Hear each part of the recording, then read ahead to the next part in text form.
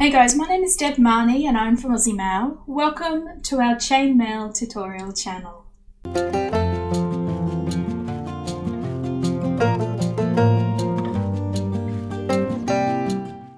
Hey there guys, big hi, hello, how are you? Um, thanks for popping in and spending some time with me today.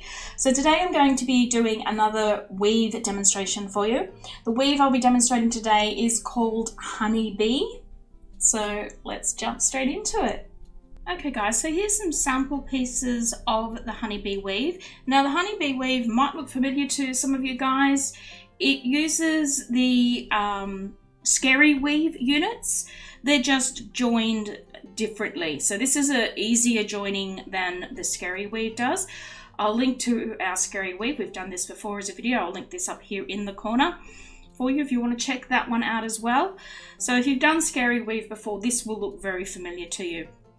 So I'm just going to go through the sizes quickly here. I'll also have them listed up here on the side for you, and they'll also be down in the description section below the video. But just going through them quickly, here is our 14 gauge AWG, so 1.6 millimeter diameter wire, and the ring ID here is 8 millimeters. This one here is 16 gauge, 1.2 millimeter diameter wire, 5.75 millimeters was the ring I chose here. The one millimeter wire, the ring ID is 4.75 millimeters, and the 0.8 millimeter diameter wire, 4 millimeter ID. Okay, so I'm going to be working in the 14 gauge rings today so that uh, you can see what I'm doing. So to start this weave up, we just want to make a short chain of two, two with your rings. So if you go ahead and do that now, put that together however it works best for you guys. Just go through and close this one up.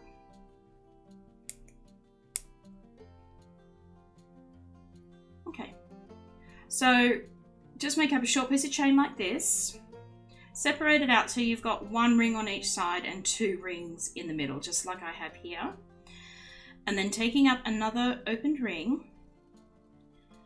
we're going to split these center rings a little bit. We're going to shift one to the left, one to the right. Okay, it doesn't matter which way you go. And we're going to take our open ring and we're going to slip it. So in this case, I'm going to go through the bottom ring first. And then I'm going to go through the top ring. So you can see that I've separated out those rings in the middle so that I'm only going through one of those rings at a time. Okay, I'm going to close that up.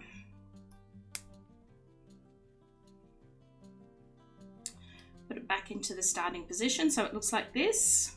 So these units are a little loose until we start joining them together, so don't worry about that too much. Just make sure you keep them um, in shape. Then I'm going to flip my work over to the other side and I'm going to put a second ring through the other side, okay, through the same positioning. Okay, just like that. And I will close that up. So you can see that that sort of slipped into a bit of a jumbled mess. So I'm going to very carefully pick all that up and make sure it all stays in pattern. Then I'm going to put that one aside because we want to have at least two of these made up so we can join them up. So again, just make up your starting chain.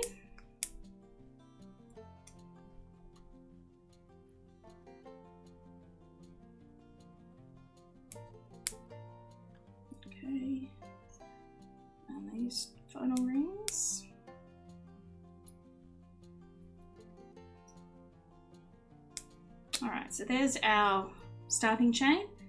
We have that position so it's one, two, one. We then grab another opened ring. I'm going to put it through the bottom ring here first. So I've separated out so the bottom ring goes to the right, the top ring goes to the left. That bit doesn't matter. Whatever works easier for you guys, do it that way. I'm going to put this through the bottom ring first and only the bottom ring, okay? We don't want it to go through both those rings at the same time. We want to separate those rings out and go through one ring at a time. So through the bottom ring first, and then bring it up and come through the top ring. Okay, close that ring up. Put it back into position so our work looks like this. Flip it over to the other side and place another large ring to mirror the one we just did. It's much easier this time because those center rings are separated out for us. And close that up. Okay, so I'll just do it once more. Create our starting chain.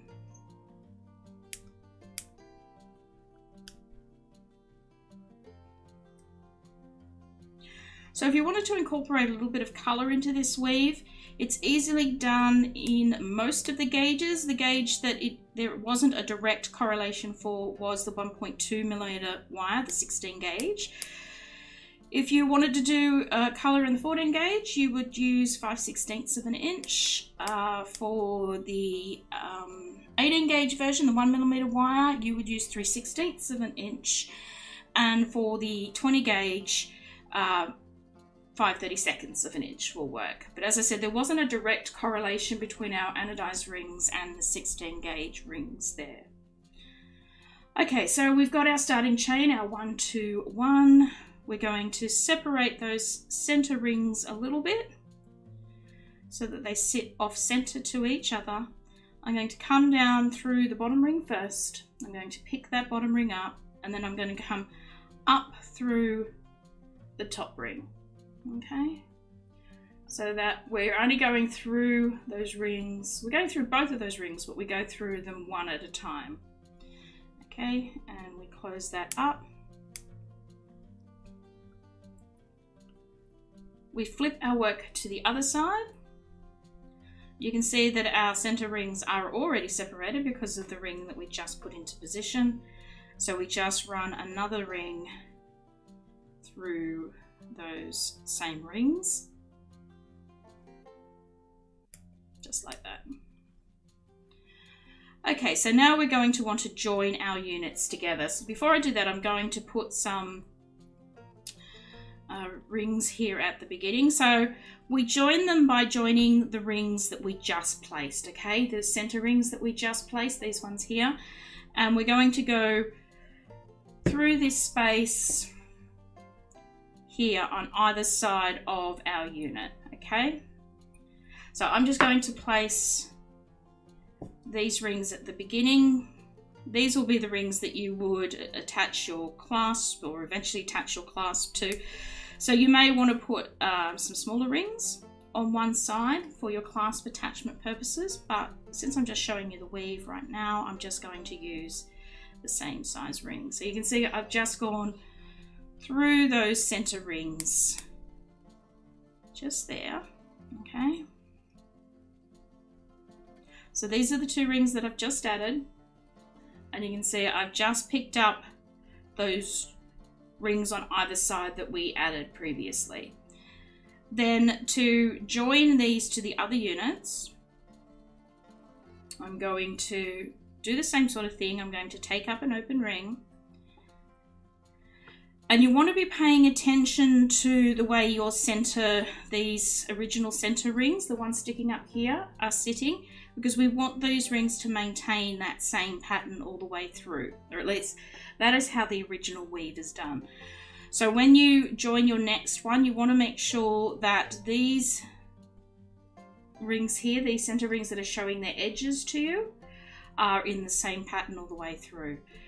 So I'm just going to put my connecting rings through those flat facing center rings just there. You can see I've just gone straight through there. Before I close this ring up, I'm going to pick up another one of my units, making sure that it's facing, these rings here are facing the same way. I'm just going to come in and pick up the same rings on that unit. Okay? Close it up and I'm going to double that ring up.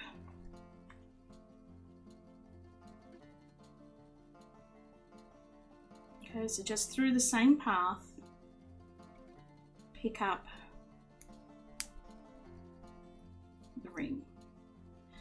And you can see once you've got the connecting rings on both sides of your unit, your unit starts to stabilize a little bit more. As you can see, this one over here, it's all loosey-goosey. But once we connect it to the next unit, that will tighten up and the weave will hold its shape.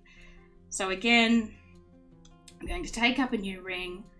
I'm going to go through the top and bottom center ring here that's laying flat, okay? So through the one at the top, through the one at the bottom. So you can see I've just picked up those two rings. And then I'm going to come over to my new unit. I'm going to make sure that unit is facing the same way, it's holding the same pattern as our previous. Once I'm sure of that, I'm going to go up through those two same rings okay just like that and I'm going to close that up okay and then I'm going to double that connection point and that's it guys that is the honeybee weave so as I said it is a variant of the scary weave uh, the only difference is the way that the units are connected to each other this is a slightly well, this is a simpler connection than the scary weave. But uh, yeah, you just keep doing that until you reach the length that you require. And once you get to the end, obviously you'll throw a couple of more rings in at the end to stabilize that side. So as I said, uh, if I was making a bracelet, I would make the end pair of rings smaller for the clasp attachment. Um, but that is totally your call. That's it guys, that's how easy it is to do the honeybee weave. Alrighty guys, that's it. That is the video tutorial for today. I hope you enjoyed it and that you love this little weave. If you did enjoy it, don't forget to give the video a thumbs up, leave any comments or questions down below. Check out some of our other videos while you're here. Uh, if you're not a subscriber, maybe you might consider doing that for us. Um, last but not least, guys, there's our link up here to our online store where we sell all the bits and bobs and you know what. Give that a little bit of love if you need some supplies.